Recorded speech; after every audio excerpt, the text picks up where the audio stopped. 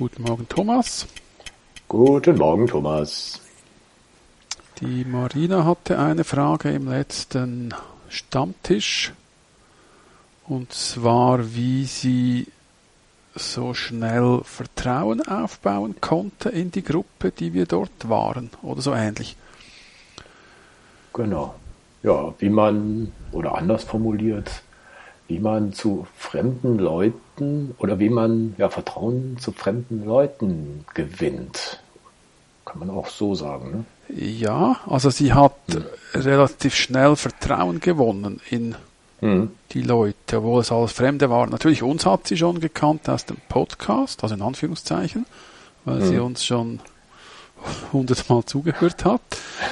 Obwohl das auch so ein Phänomen ist, ne? Das erlebe ich auch manchmal. Du kommst irgendwo hin, dich kennt man oder dich ja noch früher viel mehr und du hast keine Ahnung, wer der andere da ist, ne? Und die klopfen dir auf die Schulter und sagen, oh, toll und sonst was und ja, wie kommt sowas zustande? Ne? Dass man ja, ja, das ist schwierig. Die meinen einen zu kennen, ne?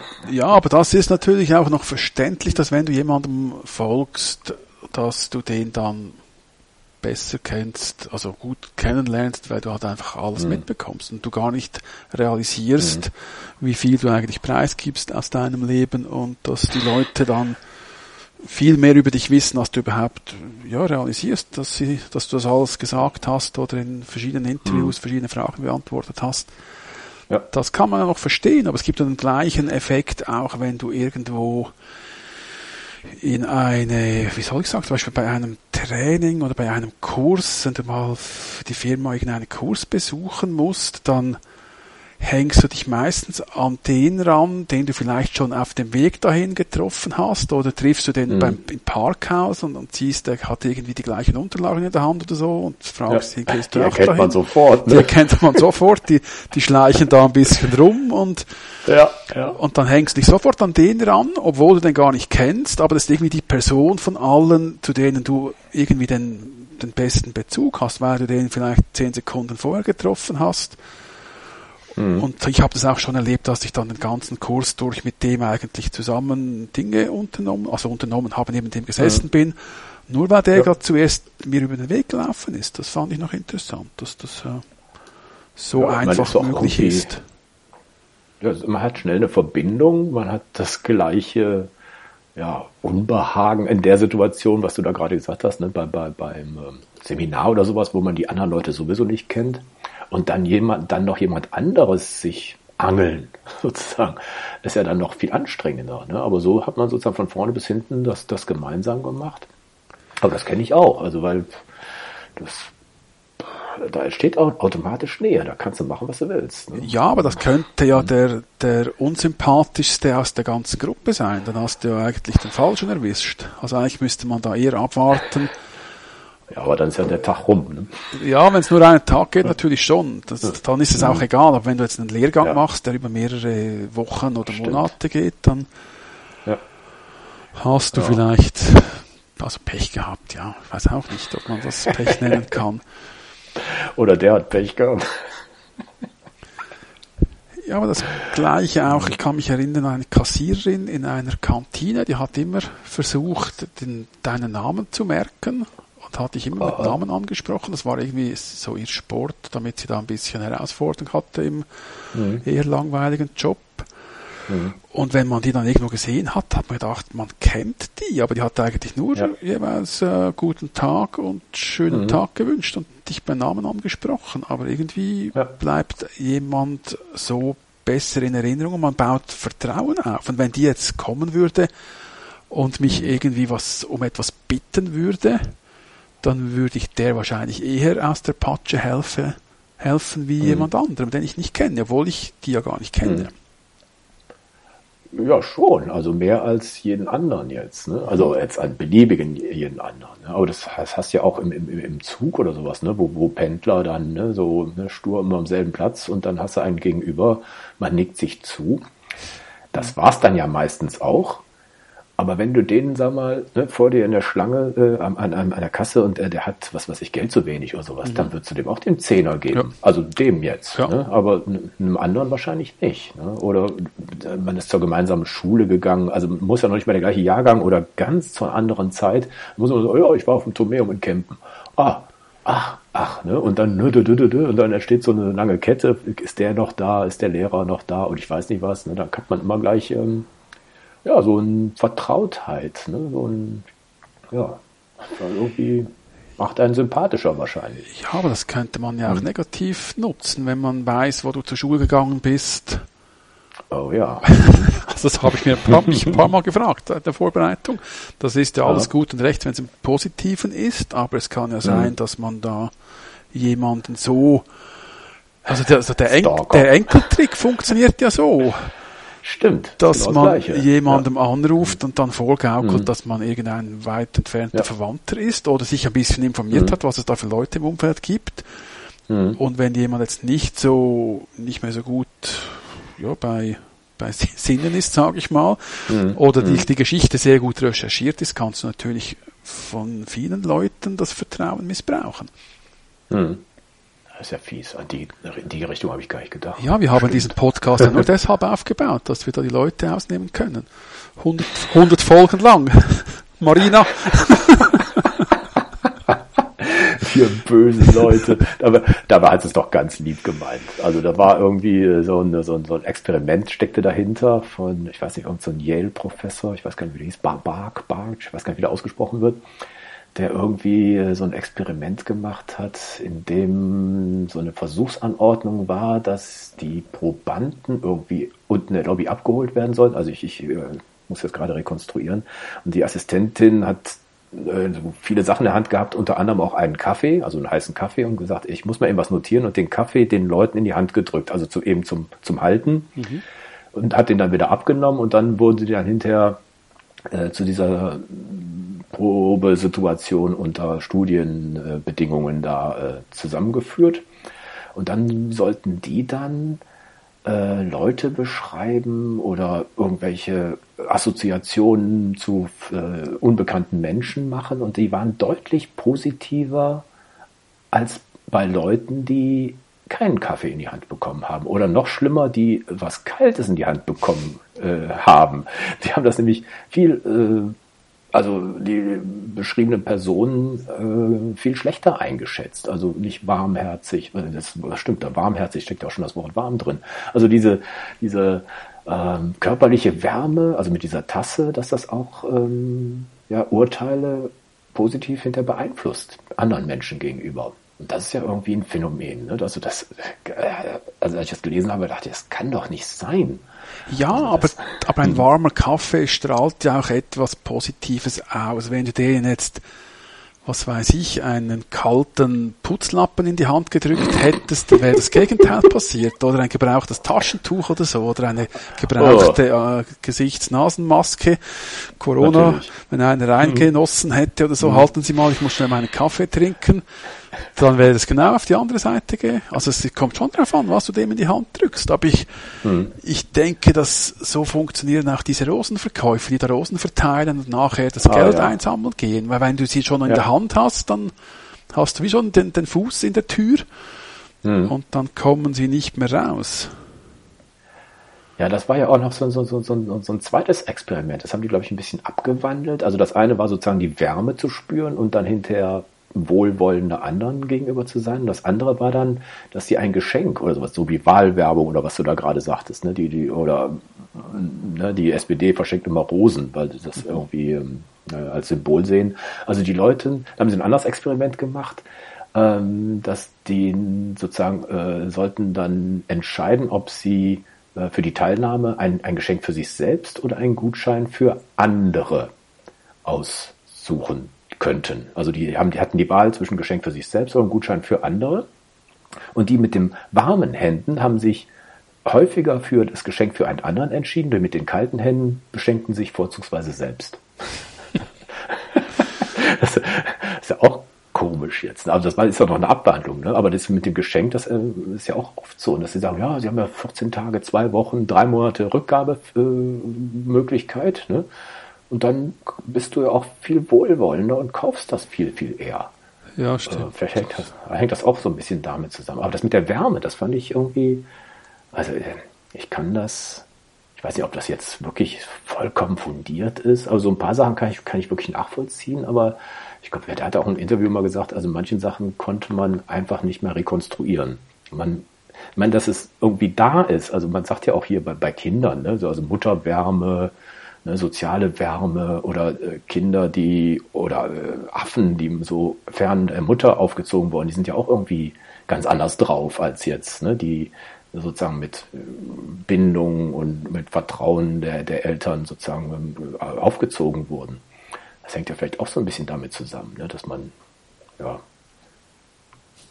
ja, aber ich frage mich, ob da, wie viel ist da Bauchgefühl und wie viel hm. wird da von außen, wie wird man da beeinflusst? Weil wenn ja jemand hm. kommt, der einem sympathisch ist, weil das Gleiche habe ich auch gelesen, dass wenn man lächelt, Augenkontakt hat, offene Körpersprache, häufiges Nicken, dass hm. das einen vertrauensvollen Eindruck erweckt. Und je nachdem, genau. wie man da hm. halt kommuniziert am Anfang, dass mhm. das halt dann schon positiv sich auswirkt und wie man wahrscheinlich auch angezogen ist. Das sind alles die ersten Eindrücke, die man bekommt.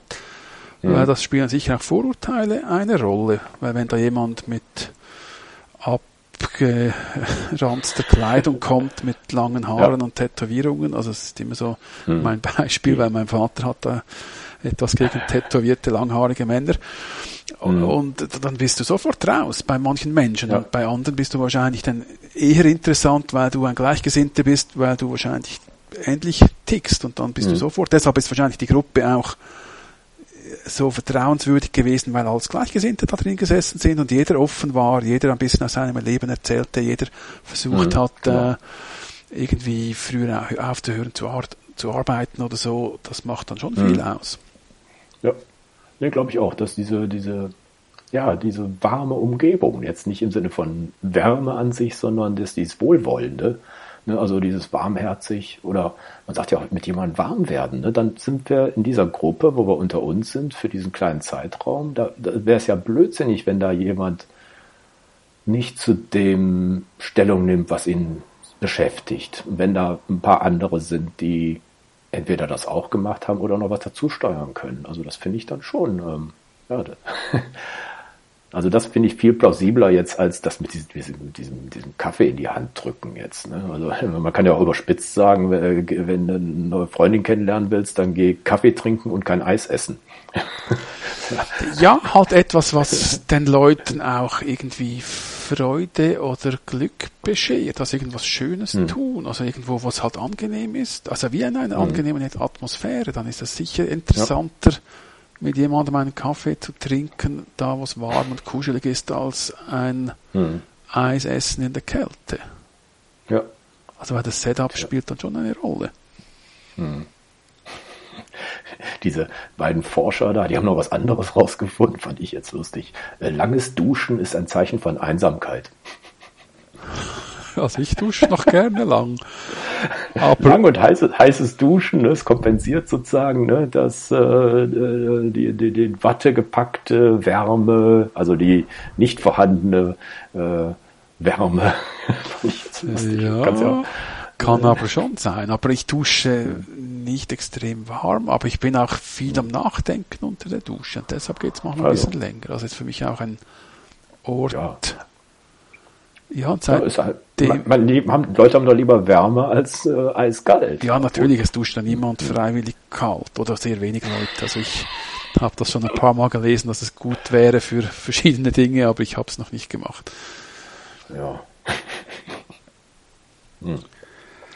Aber das mit dem ja, wenn man es jetzt noch nur auf Wärme bezieht, äh, mir fällt auch gerade noch ein hier, äh, die, die, die Düfte oder sowas ja. ist ja auch so ähnlich. Ne? Das geht ja auch gleich in irgendeinen Bereich des Gehirns, ne, wo man überhaupt nichts gegen machen kann. Also was weiß ich, äh, hören, riechen, tack, fühlen, sind ja Sachen, die man nicht abstellen kann.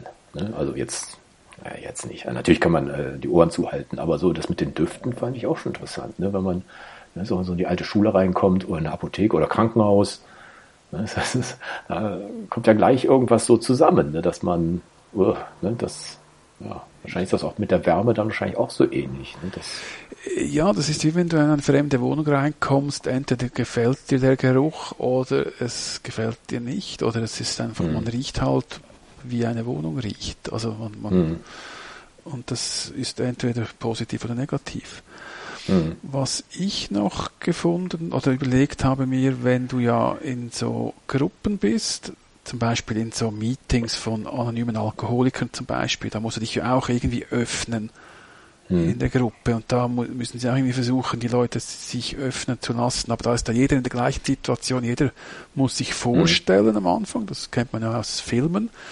Mhm. Ich war noch nie an so einem Meeting, aber es mhm. ist so, dass das Gleichgesinnte und dass du, ich glaube, du musst nicht zwingend was sagen am Anfang, musst dich einfach vorstellen und du mhm. wirst dann automatisch fühlst du dich wohl, weil du merkst, das sind ja alle gleichgesinnt, alle haben das gleiche Problem oder ein ähnliches Problem, alle sind offen, ja. es ist mhm. anonym. Ich glaube, das hilft schon auch, dass man da mhm. weiß, das sind äh, ja, die, die wollen einem nichts Böses tun. Es ist so wie ein geschützter Ort, wo du über deine mhm. Probleme sprechen kannst, wo du ja es ist manchmal vielleicht sogar einfacher, mit Fremden darüber zu reden, weil ja, die, die werten ja nicht, die, die kennen dich ja nicht, die nehmen dich so, wie du bist und, und ja. wissen ja, weil es Gleichgesinnte sind, was du für Probleme hast unter Umständen. Mhm. Ja. Nee, finde ich gut. Ähm, ich weiß nicht, ob du den Film mit diesem Elton John gesehen hast, Rocketman, der kommt ja auch da mit seinem komischen Federboa da zu diesen AA-Treffen. Ah, Habe ich gesehen, ja, war witzig, ja. sehenswert. Ja, ja, aber er bringt das vom Thema weg. Aber es war, äh, das stimmt schon. Das ist, wenn man so eine, ja, man muss äh, im wahrsten Sinne warm miteinander werden. Ne? Dass man, ne, ich glaube, das ist ja wahrscheinlich auch kein Zufall, dass das Wort da auch verwendet wird. Ne? Also. Ja, und wir suchen ja nach Dingen, um zu vertrauen. Also hm. es geht ja gar nicht, auch wenn du irgendwas kaufst, musst ja irgendwo musst du vertrauen auf Bewertungen oder auf Empfehlungen, mhm. weil manchmal geht's, also man traut sich nicht, gewisse Dinge zu tun, ohne dass jemand sagt, es ist gut. Oder manche gehen gar nicht ins Kino, ohne mhm. dass sie von jemandem eine Empfehlung kriegen. Das geht ja auch in ja. diese Richtung. Rezensionen und alles durchlesen, stimmt. Aber da musst du dem auch ähm, ja, natürlich. Ja, wohl, Wohlwollen entgegenbringen. Ne? Sonst, wenn du weißt, ne, die Zeitung verreist eh jeden Film, ja, pff, dann gehst du wahrscheinlich nie wieder ins Kino. Nee, und ja, mhm. ich, ich, ich habe es zwar nicht gerne, wenn man mit Dingen empfiehlt. Ich kann mich erinnern, als ich jeweils gesagt habe, ich fliege jetzt dahin in die, also übers Wochenende zum Fotografieren, da gab es mhm. Leute, die haben sofort gesagt, du musst das und das und das anschauen. Da habe ich gesagt, nee, da habe ich oh. eigentlich gar keinen Bock, weil ich möchte die Stadt auf meine Weise erleben und nicht das tun, was alle anderen auch tun. Ja, nicht, dass sie da gleich um die Ecke kommen und dir alles zeigen wollen. Ja, aber da gab es auch. Dinge, gibt es auch Geschichten mit Vertrauen. Da war ich mal, mhm. also war ich jetzt nicht fotografieren, aber als ich an den Olympischen Spielen in Peking war für meinen Arbeitgeber damals, mhm da habe ich irgendwo im Park einen getroffen, habe mit dem ein bisschen geredet, hatte gesagt, ja, er sei da irgendwie Doktor, was weiß ich, und mache da so Akupunktur. Und äh, ich glaube nicht, dass der mir etwas verkaufen wollte, aber ich habe gesagt, ja, kannst du auch was gegen Rückenschmerzen tun? Der so, ja, klar. Dann habe ich den aufs Hotelzimmer genommen und hat er seine Nadeln ausgepackt und hat mich da Ups. behandelt. Okay. Gebracht hat es nicht viel, aber ich war, ich habe das noch nie gemacht, Akupunktur. Dann habe ich das mhm. dann denen vom Geschäft erzählt, waren alles Amerikaner. Und die, mhm. was? Vom Park auf der Straße? Und ich so, ja klar, weil der war ja nicht, der hat mich ja nicht, hat nicht auf mich gewartet hinter dem Busch und gedacht, wenn der mhm. kommt, dann überrede ich mhm. den. Das ist ja so entstanden, mhm. da hatte ich vollstes Vertrauen. Ja. Was ist ein paar Mal passiert auf der Straße, dass ich irgendwas gemacht habe. Ich glaube, da kann man schon ein bisschen auf sein Gefühl gehen. Glaube ich auch. Also man entwickelt doch irgendwelche Sensoren, ne? ja. dass man sagt, äh, wenn das wirklich unbehaglich gewesen wäre, A, hätte es gleich gesagt, ne, keine Zeit, äh, talala. Aber so, das war wahrscheinlich ne, so eine Situation, du warst offen und in anderen Kulturen ist das einfach so. Ne? Also ich weiß jetzt nicht, ob ich das so auch so gemacht hätte, aber das war ja jetzt alles mehr als Zufall. Und äh, ja, wenn es geholfen hätte, wäre schön. Aber so hast du die Erfahrung gemacht. Ich habe auch einmal, einmal Akupunktur, irgendwie ein paar Sitzungen Also ich weiß nicht, ob das was geholfen hat. Also, ich, also manche schwören ja drauf, aber ja, ja, ja ich weiß, also ich so. habe es nachher auch nicht mehr gemacht. Also das, das, hm. die Rückenschmerzen gingen dann weg, als ich den Job äh, gewechselt hm. habe oder aufgehört oh. habe zu arbeiten.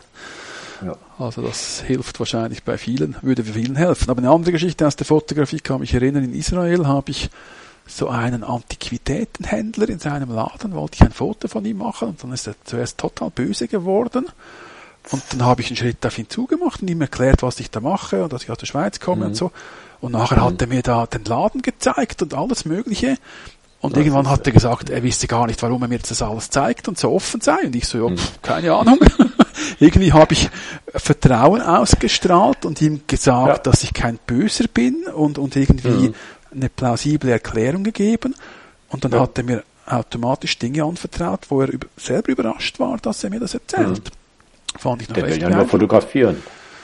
Ja, aber ja, der, der, hat ja wahrscheinlich, klar, in Israel sind eh alle ein bisschen ängstlich. Du könntest ja mhm. vom, äh, vom ja. Staat oder von der Regierung sein oder vom Geheimdienst. Das mhm. war in, in, oh im Libanon ähnlich. Da hat mal einer mhm. von mir einen Ausweis haben wollen, ein Foto von dem oh. Ausweis, obwohl ich einfach nur ein Foto von ihm gemacht habe. Der war aber äh, auch ein bisschen paranoid. Aber ja, da hat man ja einiges erlebt auf der Straße. Ja. Apropos paranoide Menschen. Wir haben eine Sprachnachricht gekriegt über einen Aspekt zu unser, unserem Thema. Gute Überleitung. Ja, da bin ich Spezialist für. Nee, eine Sprachnachricht von Frank, die wir uns mal kurz anhören. Wir wären so nicht drauf gekommen. Vielen Dank für die Nachricht erstmal. Guten Morgen, Thomas. Guten Morgen, Thomas. So, ihr zwei, äh, Frank Fischer von der Fotoschule hier. Ähm, ich habe mit äh, Spannung und Vorfreude gehört, dass eure nächste Folge sich darum handeln wird, dass man Menschen, die man vermeintlich kennt und sei es nur vom Sehen, mehr vertraut als anderen. Und das fällt mir als allererstes ein. Das ist doch das klassische Geschäft von Influencer Marketing. Machen wir uns nichts vor. Wenn man jemanden, der einen influenzt, also einen beeinflusst, regelmäßig folgt, vielleicht sogar von dem einmal die Woche Videos sieht oder jeden Tag Insta-Stories oder sowas, glauben ja viele Menschen denjenigen zu kennen. Und das sorgt natürlich dafür, dass diejenigen die Produkte verkaufen können. Deswegen treten Firmen sie heran, um dafür zu sorgen, dass die deren Produkte anpreisen, weil diejenigen, die dazu gucken und sie vermeintlich kennen, dann diese Produkte kaufen. Ähm, das ist ja das ganz große Stil von ich kenne jemanden, vertraue dem und deswegen kaufe ich etwas. Ähm, und ähm, ja, von daher finde ich, ist das vielleicht ein ganz interessanter Aspekt für eure Folge. Ich selber würde mich ja niemals als Influencer bezeichnen wollen, aber dadurch, dass ich natürlich über YouTube-Kanäle und Podcasts, Podcasts auch in der Öffentlichkeit stehe, gibt es natürlich Kooperationen mit Partnern, die mir Dinge zur Verfügung stellen oder mich bezahlen für bestimmtes Product Placement. Und ähm, habe ich eine sehr, sehr genaue Idee davon, wie das im ganz großen Stil funktioniert. Also wenn da wirklich Millionen Follower dahinter stehen, dann ist ja im Prinzip nichts mehr von dem, was man dort hört, wirklich mm, auf die, ja, für, für die Wahrheit anzusehen. Also, das ist ja das Schwierige. Man muss sich ja irgendwie selber treu bleiben und ich glaube, das kann man nicht mehr, wenn dann richtig, richtig große Summen im Raum stehen. Dann wird das zunehmend schwerer wir lehnen auch ganz, ganz viele und ich lehne auch ganz, ganz viele Kooperationen ab, wo ich sage, okay, das macht keinen Sinn und so weiter. Und manchmal gibt es auch Kooperationen, die laufen schon und ich möchte das Produkt nicht anpreisen, weil ich das einfach mit mir nicht verbunden haben möchte, weil es einfach schlecht ist oder sowas. Auch solche Dinge passieren mir natürlich, aber da geht es halt meistens nicht um Geld, sondern einfach nur darum, dass das Produkt zur Verfügung gestellt wurde oder irgend so etwas. Und dann fällt mir das natürlich leicht, weil das ist ja nicht mein Hauptgeschäftsmodell. Aber im Influencer-Bereich ist es ja das Geschäftsmodell und damit natürlich besonders schwierig. Und jetzt vielleicht noch als letzten Aspekt. Ich selber folge natürlich auch Menschen im Netz und ähm, sehe von einigen mindestens einmal die Woche ein Video, manchmal auch alle zwei Tage, je nachdem, wer das so ist, und sehe sehr viel Insta-Stories dann von denselben Personen. Und ich muss mir selber auch immer wieder bewusst machen, dass ich denjenigen ja gar nicht kenne, sondern dass es einfach eine Einbahnstraßenkommunikation ist. Ich kenne denjenigen nicht. Und ähm, von daher muss man da immer ein bisschen vorsichtig sein, glaube ich, in dem, in dem Verhalten, vermeintlich jemanden zu kennen, deswegen dem zu vertrauen und dann deswegen gegebenenfalls bei dem eher was zu kaufen als bei anderen. So, ich wünsche euch viel Spaß weiterhin hier in der Podcast-Folge und freue mich, äh, die dann, die aktuelle Folge von Zeit ohne Ende zu hören. Macht's gut, ihr zwei. Tschüss. Vielen Dank, Frank. Frank, da hat sich ja quasi überstroffen hier. Also, wenn ihr was schickt, müsst die nach nicht, nicht ganz so lang sein. Aber sonst, nee, stimmt schon. Also dieser Aspekt mit Influencer, da wäre ich jetzt so nicht drauf gekommen. Ähm, Obwohl ich finde diese Leute ja wirklich grausam, muss ich ganz ehrlich Ja, sagen. aber wenn mir der Frank so ein USB LED Zahnbleaching a- verkaufen würde, dann würde ich sofort kaufen. Mir hat es einfach noch nicht der Richtige empfohlen. Hast, hast du schon mal Stimmt, gesehen? Ach, hör auf. Also Frank ist ja auch, ist ja auch kein Influencer. Ne? Also sowas mal zur, zur Unterscheidung. Obwohl, meine, wenn du ähm, bei Olympus unter Vertrag stehst oder sowas, ne? also ich meine, das machen die ja nicht zum absoluten Selbstzweck. Ich meine, das weißt du ja selber auch. Ne? Also da Jein, also du, bei mir war es ja so, ich habe mit Olympus fotografiert und irgendwann sind sie auf mich zugekommen, ob ich nicht mit für Olympus fotografieren würde. Also gegen ein bisschen, also ne, Geld gab es nicht direkt, aber man hatte halt einfach mal ein paar Einladungen an irgendwelche Events bekommen, musste ein paar Workshops machen, ein paar Geräte. ein paar Geräte, ein paar Objektive. Ja, natürlich, es, wenn du dich nicht zu sehr verbiegen musst, dann geht das schon. Aber die Frage ist dann, wenn du, wenn da irgendein Konkurrent kommt und sagt, jetzt musst du das sagen, kriegst Ja. dafür das und das, dann wird es dann schon schwierig, dass man da noch sich selber bleibt. Und ich glaube, das hat der Frank sehr gut im Griff, dass er da vertrauenswürdig Ja. bleibt und das ist, glaube ich, das. Wichtigste. Entscheidend ist ja, also beim Frank ist ja sowieso, dass, dass das Vertrauen da ist. Ne? Der macht das schon seit Jahrhunderten, äh, kennt sich aus und ähm, hat halt eine Kamera oder ein, ein, eine Firma, die gut dazu passt und dann sagt man das auch. Und wenn mal irgendwas nicht so gut ist, dann kommt das auch von ihm.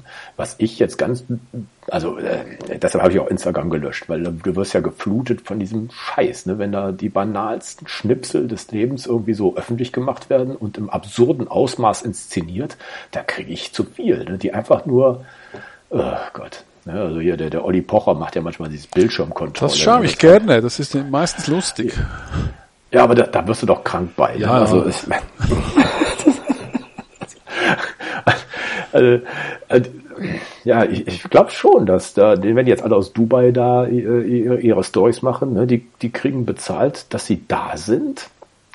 Und äh, also ich verstehe das nicht. Also das ist äh, früher war es doch so, dass ich sag mal die irgendeine Öffentlichkeit gesagt hat, wer wirklich berühmt ist oder wer was zu sagen hat. Und was ist das jetzt hier? Ne, Wenn Ja, du ne, 100.000 Follower hast, dann bist du äh, Tausender wert oder was auch immer, wenn du da nur den Regenschirm in den, äh, in den Regen hältst. Ja, Also, aber das gab's doch früher schon. Irgendwelche Sportler, die aufgehört haben, die dann plötzlich in der Werbung aufgetaucht sind. Also bei uns gab's einen, oder gibt's einen, der Bernhard Russi, der war irgendwann mal Weltmeister oder Olympiasieger im Skiabfahrtsfahren. Aha. Und der hat dann für Subaru, also eine Automarke, der hat ein Leben lang für die Werbung gemacht und dann und ist heute auch noch, also ist einer der ersten Influencer sozusagen, der war einmal kurz, was weiß ich, fünf oder zehn Jahre war der bekannt und nachher hat der gerade noch Skipisten gebaut und so. Aber der kam immer, immer wieder im Fernsehen als Experte und so. Und Aha. gerade er hat wenigstens was geleistet, das muss man schon sagen. Also er hat wenigstens Mehrwert geboten Ja, und ja, nicht nur. eine blonde Barbie-Puppe, die da irgendwie ne, am Balkon da irgendwie ihre Fingernägelchen in die Kamera hält. Ja, aber wer war da in Deutschland mit der Telekom-Aktie damals? War doch auch irgendwann das Manfred Krug. Ja, genau. Der hat da sich auch dahin gegeben. Aber das ist doch eine Werbefigur. Ob der jetzt Influencer ist, da irgendwie ganz was. Also äh, äh, für mich, ich finde das Wort ja schon grausam. Ja, aber das ist ja ein Influencer. Schauspieler, der, der Manfred Krug. Der war ja, was Ja, hat der aber gemacht? Franz Beckenbauer hat auch für Dosensuppen Werbung gemacht. Ich weiß nicht, für alles. Oder jetzt Jogi Löw, äh, für, 1000 Nivea, für, für Fenster. Ja, aber das ist doch genau das Gleiche. Das ist jemand, den man, also das, der Unterschied ist, das ist jemand, den man schon kennt und der macht dann Genau.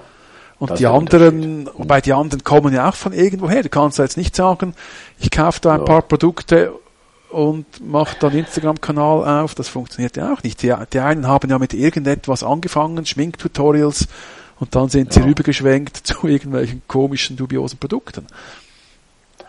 Ja, oder werden dann berühmt, wenn Olli Pocher sie ja, auf dem Bildschirm zeigt. Ne?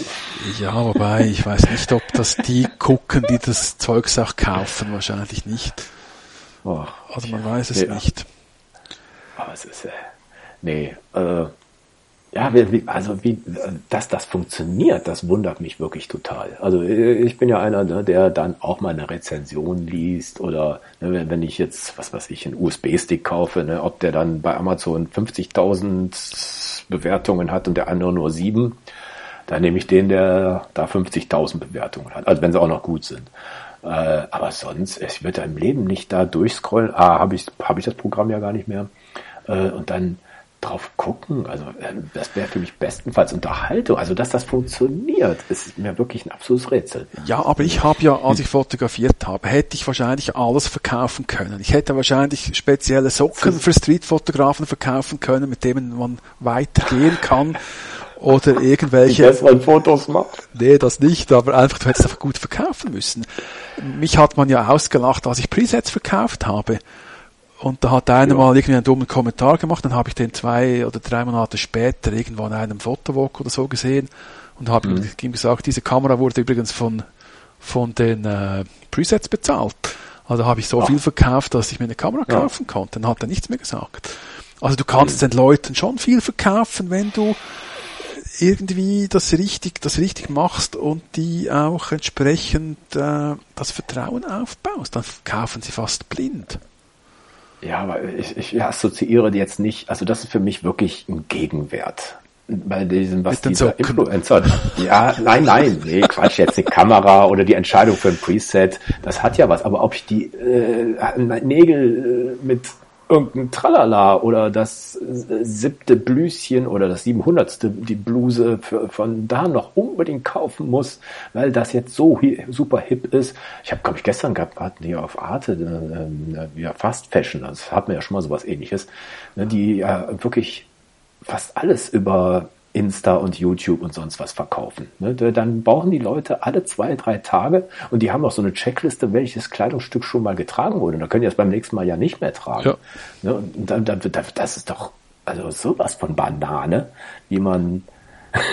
ja, also natürlich. Also, aber die Zielgruppe ist offensichtlich da und die Menschen, die, die machen ja. das. Also eben, die, ja, was war zuerst, ne? Die, die Sachen, die verkauft werden sollen oder die Influencer, die es anpreisen? Also das ist. Ja, wahrscheinlich beides ist zusammengewachsen. Ja, ja aber kannst du dich noch an AWD erinnern? 90er AWD? Jahre. Ja, allgemein. Ach so, diese, ach, die Ver Ver Ver Versicherungsputzi. genau. Ne? Also, ach Gott, die haben der, ja, der, der, der, Typ, der bei äh, Carsten, sitzt, Carsten ne? Maschmeyer hat Maschmeyer, das, glaube ich, oh, äh, ich weiß nicht, ob er das ja. gegründet hat, aber hat sicher doch, viel doch. Geld damit hm. verdient. Die ja, haben ja am Schluss, die haben ja am Schluss einer Beratung immer noch fünf Freunde haben ja. wollen und sind ja. dann zu denen gegangen und hat gesagt, du, der Thomas hat mich mhm. empfohlen, dass er dich mal anrufen soll.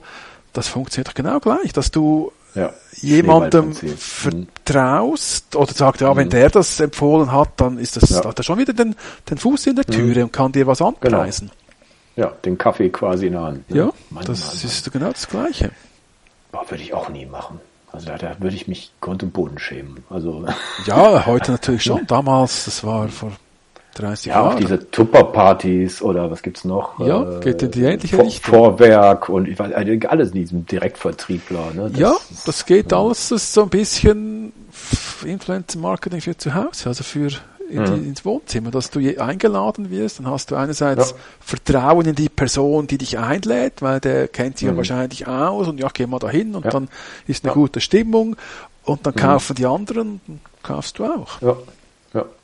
Nur beim diesem äh, Social Media Dings, die, die, wissen ja ganz genau, wen wir das schicken. Ne? Du ja, kannst natürlich. es ja wunderbar, ne? Alle unter 20 oder noch die 18-Jährigen, die jetzt einen Führerschein machen und unbedingt ein Auto haben, ne? ein rotes Auto. Ne, zack, wirst du bombardiert mit dem ganzen Scheiß. Und du denkst, wow, super, der Fußballer so und so sagt, ich fahre jetzt in einem Polo oder was auch immer. Und schon kaufen die Deppen alle einen roten Polo. Ne? Also ich weiß nicht. Das Ach, Schlimmste, das Schlimmste finde ich auch jeweils, wenn sie dann ihre Autos zeigen, was sie gekauft haben, oder ihre Wohnungen ja. oder ihre Häuser. Da denke hm. ich, die haben überhaupt nichts verstanden. Die hauen hm. die Kohle auf den ja. Kopf und ja. Mhm. Und morgen, morgen kommt eine andere Kuh durchs Dorf. Ja, genau. Das, ich frage mich sowieso, wie lange Instagram ja. in der Art überhaupt noch funktioniert. Irgendwann sollten es doch alle gemerkt haben, dass das einerseits nicht ja. echt ist und andererseits auch mhm. nichts bringt. Ja. Ja. Oh Mann. Ja. Schwierige Geschichte. Aber ich habe auch, nutze auch, ich habe einen Account, aber ich folge nur dem Pocher und schaue da ab und zu mal rein, aber ist mittlerweile mhm. auch nicht mehr so lustig wie am Anfang, weil es ist, das wiederholt ja. sich halt, also es ist irgendwie, ja. Nee, ich habe es nicht vermisst. Ich habe selber nie einen Nutzen drin gesehen und das wurde immer schlimmer. Also, wenn ich nicht in Facebook da diese Gruppe hätte, dann würde ich das auch schon nicht mehr machen. Aber ja, aber soll man nun den Leuten vertrauen oder soll man vorsichtig sein? Kann man da irgendwas sagen? Tja. Ich meine, wir sind ja alt genug, wir, wir kennen ja fast jeden Trick. nee, da weiß, weiß ich nicht, aber ich kenne schon viele Tricks mittlerweile. Genau. Auch so mit Mystery Shopping und so, da gibt's immer wieder ja. Sachen, auf mhm. was du achten musst, was sie dich fragen müssen und so, ist noch interessant, da lernt man auch wieder mal dazu. Ja. Aber ja, halt einfach nicht jeden Scheiß glauben, ein gesunder Menschenverstand und mal überlegen, wenn ich jetzt genau. den nicht kennen würde, würde ich das auch kaufen. Mhm. Wenn mir das ein Fremder an der Straßenecke im schummrigen Licht so ein LED Zahnbleaching verkaufen würde. Das finde ich, ja das, finde ich ja das Geilste. Das ist einfach so ein LED-Ding, dass du dir in den Mund schiebst, am USB-Anschluss anschließt und das soll deine Zähne weiß machen. Also eigentlich genau. großartig für der, der das herausgefunden hat, dass man das verkaufen kann, so ein Schwachsinn. Also ja, Respekt, dass man damit Geld verdienen kann mit so etwas, was überhaupt nicht funktioniert. Genau, die Wirkung ist hundertprozentig. Hundertprozentig wird dein Portemonnaie leer geräumt. Ja, also von dem her haben die Leute schon noch einen gewissen äh, Respekt ja. verdient, dass sie mit der Dummheit der Menschen Geld verdienen können. Genau. Also die Frage ist, würdest du das auch tun, wenn du jetzt sowas herausfinden würdest und damit Geld verdienen könntest? Weiß ich nicht. Ich glaube nicht. Wäre auch mal ein Thema, Ethik. Ja. Haben wir noch. Schreib's mal auf. Schreib mal auf, genau. Aber fürs nächste Mal haben wir schon ein anderes Thema ausgesucht. Geht ein bisschen in die ähnliche Richtung, in die entgegengesetzte Richtung vom letzten Mal, von Nudging, sogenannte mhm. Dark Patterns, also die ge gezielt ausgesucht sind, dass man nicht mehr so einfach aus etwas rauskommt. Wenn man ein Abo kündigen möchte online oder deinen mhm. Amazon-Account löschen, das kriegst du nicht hin, ohne zu googeln oder lange zu suchen. Das wird einfach mit einem schwer gemacht, wieder aus etwas rauszukommen. Genau. Also, dann danke fürs Zuhören, danke für Sprachnachrichten und bis nächste Woche. Bis nächste Woche. Tschüss, Thomas. Tschüss, Thomas.